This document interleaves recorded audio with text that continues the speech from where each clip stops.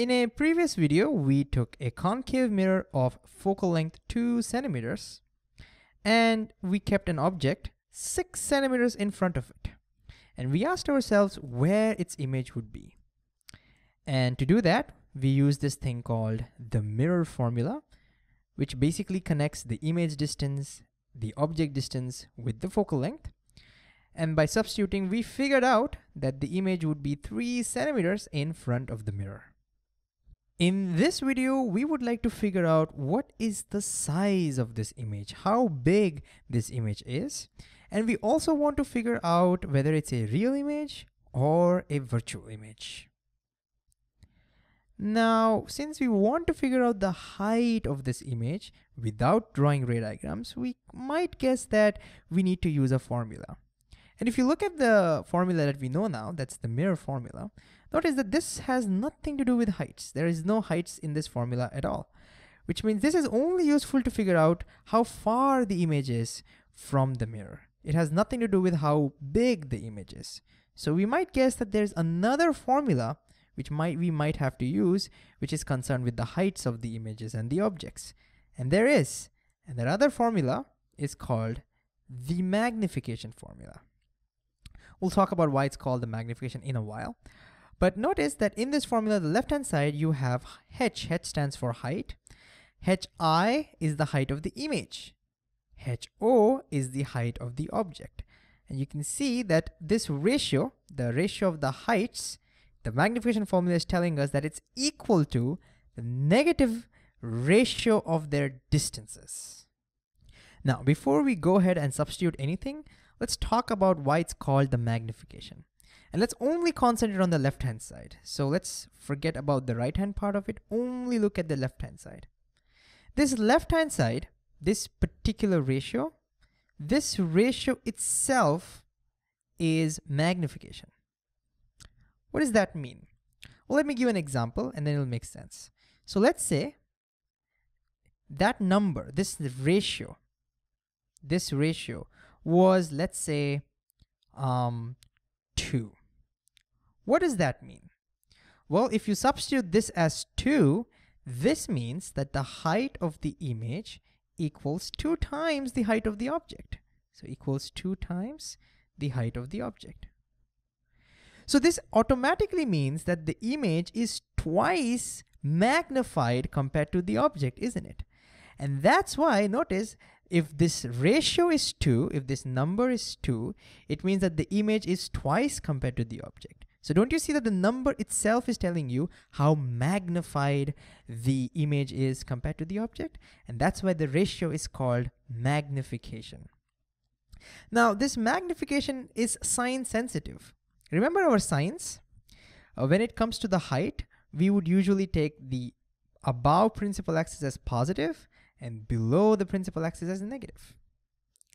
So if you think about this carefully, in this particular example, when m equals 2, we see that height of the image is twice compared to the height of the object. This also means that the image height and the object height have the same sign. Did you see that? So this means that if the object height is positive, like in this example, the image height is also positive. Since both are positive, it means they have the same orientation. Or in other words, image is erect. And we've seen before when image is erect, it's always virtual image. So this also tells us, this number not only tells us how magnified the image is, but by looking at the sign of this number, we can understand whether it's real or virtual. If this sign is positive, like in this example, it means that the image height and the object height have the same orientation, and this automatically means this is a virtual image. Let me take another example, just to be clear. Let's say in the second example, we got this m as minus 0.3. Now, could you tell what this means? I want you to pause the video and think about what is the meaning of this. All right, let's do this. So this tells us that the height of the image is minus 0.3 times the height of the object, isn't it? Minus 0.3 times the height of the object if you substitute. So notice the negative sign is now telling us that the height of the image has the opposite sign compared to the height of the object. See, if the if this is positive, this is negative. If this is negative, this would be positive. So the negative sign is immediately telling us that the image and the object are inverse in relation, as in the image is inverted compared to the object. And that can only happen when it comes to real images. So just by looking at this sign, we can now say this is negative, it is real. And it's also telling us that the image is 0.3 times compared to the object. 0.3 times magnified means it's actually smaller than the object, isn't it? So notice, just by looking at the sign of this magnification, we can tell whether it's real or virtual. And by looking at the number, we can tell how big the image is compared to the object. And that's exactly what we want to find out in this particular scenario. We want to find how big this image is, and we want to find whether it's real or virtual. So all we need to do over here is to figure out what the magnification is in this particular case. So how do we calculate the magnification in this example?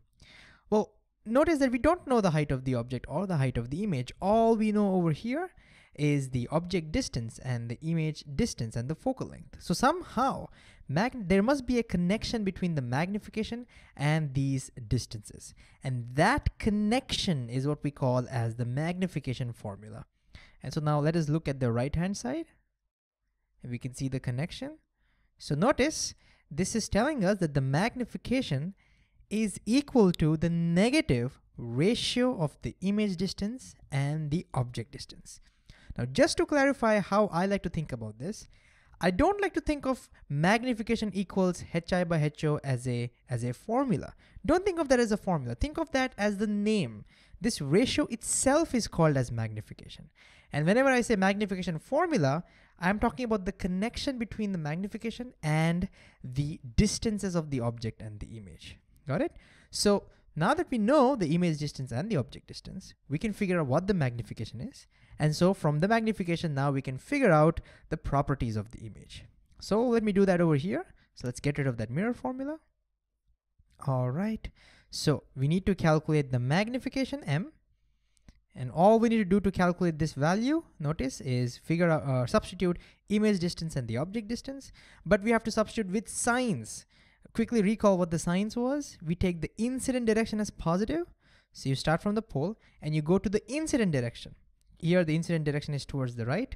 So we'll take the right side. All positions on the right are positive positions. All the positions on the left are negative positions. So great idea to pause the video and see if you can try to do this yourself first. All right, let's do it.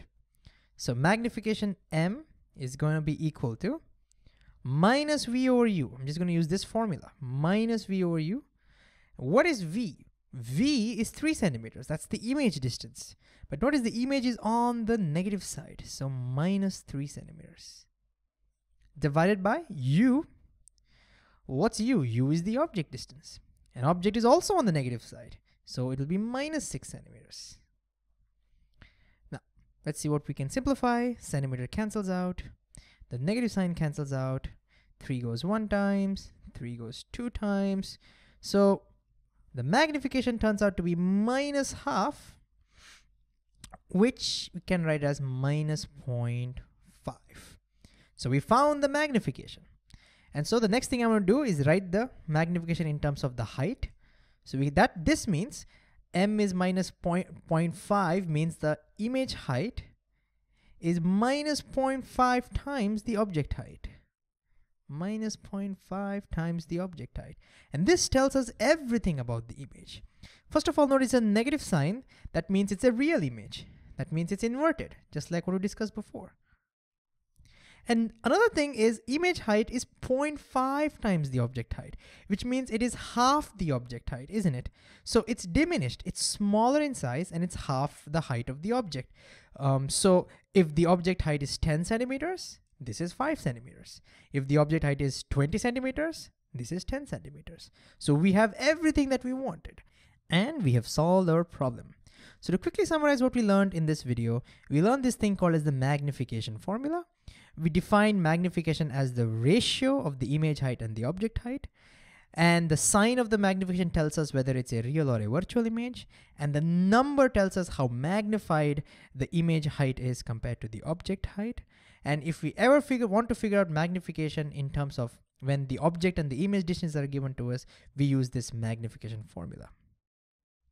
And by the way, if you're interested in figuring out where this formula comes from, then there is a bonus video where we derive this, you can just go ahead and check that out.